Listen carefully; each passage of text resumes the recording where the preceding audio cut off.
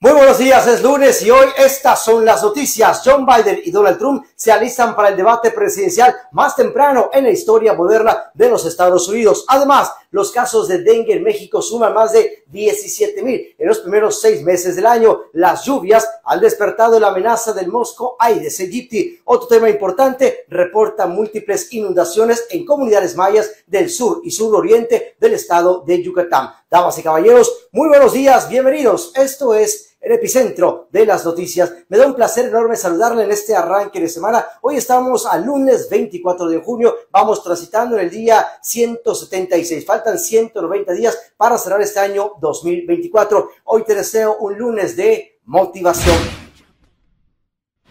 Vamos a la información meteorológica hay una alerta por triple amenaza para la península de Yucatán. Han detectado tres ondas tropicales caprichosamente perfiladas al sureste mexicano.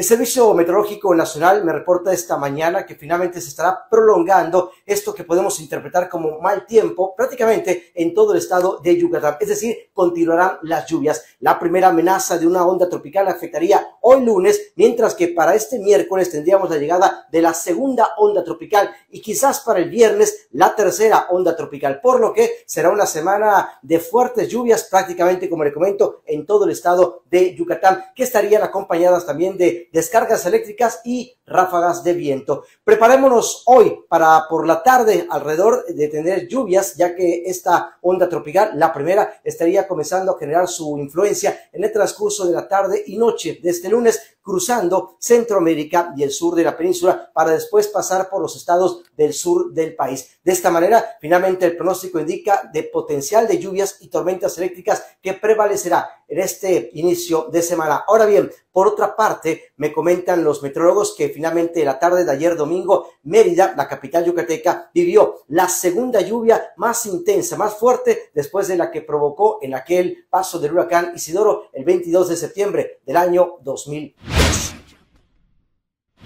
Damas y caballeros, vamos ahora a conocer las tres noticias más importantes de esta mañana. Comenzamos en el terreno de la noticia nacional. Están repuntando hasta un 385% los casos de dengue en México, mientras que las muertes se han quintuplicado en lo que va del año. Una situación que se potenciará en esta temporada de huracanes que ha empezado esta semana en el Océano Atlántico con la tormenta Alberto, que trajo fuertes lluvias para el sureste mexicano. La Secretaría de Salud del Gobierno Federal registró 17 mil 16 casos de dengue confirmados en las primeras 24 semanas del año, por encima de las 3.505 en el mismo lapso, pero del 2023, según el último reporte del panorama epidemiológico de los casos de dengue en México. Además, están contabilizando 26 muertes comparadas con solo 5 en el mismo periodo del año anterior. Las autoridades del sur de México, en la región que concentra más de 6 de cada 10 casos del país, han alertado de que el panorama, por supuesto, podría empeorar porque apenas comienza el verano y por las lluvias que dejó finalmente esta semana que pasó Alberto,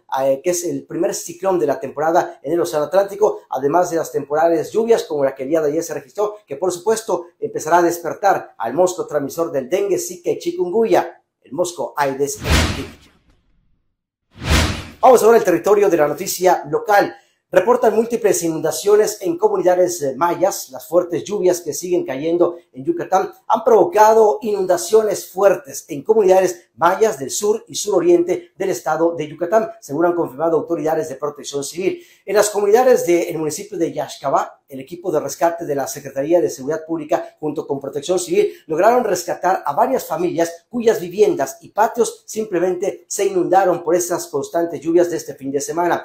Por lo menos en Mérida, capital yucateca, las lluvias del fin de semana provocaron encharcamientos, apagones en predios de comercios, no hubo energía eléctrica y dificultades a miles de meridianos que a esa hora estaban transitando en el centro y diferentes zonas de la ciudad de Mérida.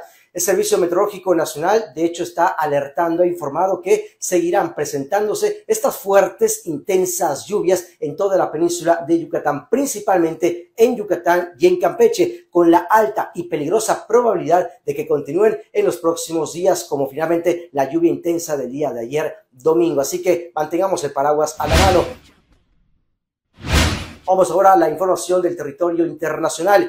El presidente de los Estados Unidos, John Biden, lleva varios días concentrado con sus colaboradores en prepararse para lo que será el debate cara a cara con su rival Donald Trump. El cara a cara en Atlanta a las 9 de la noche, hora local, será el debate presidencial que más pronto se llevará a cabo en la historia moderna de los Estados Unidos y un acontecimiento, por supuesto, crítico para ambos candidatos que están en este encuentro de cara a cara. El presidente John Biden, de 81 años, y el expresidente de los Estados Unidos, Donald Trump, de 78 años, están empatados en las encuestas nacionales y una parte considerable del electorado sigue indecisa aún a cinco meses de la votación de este próximo 5 de noviembre. Este importante debate ofrecerá el contraste más marcado hasta ahora de los dos hombres, los candidatos de más edad que han aspirado a la presidencia de los Estados Unidos, a la Casa Blanca, cuando votantes dudan todavía sobre su edad y su agudeza mental.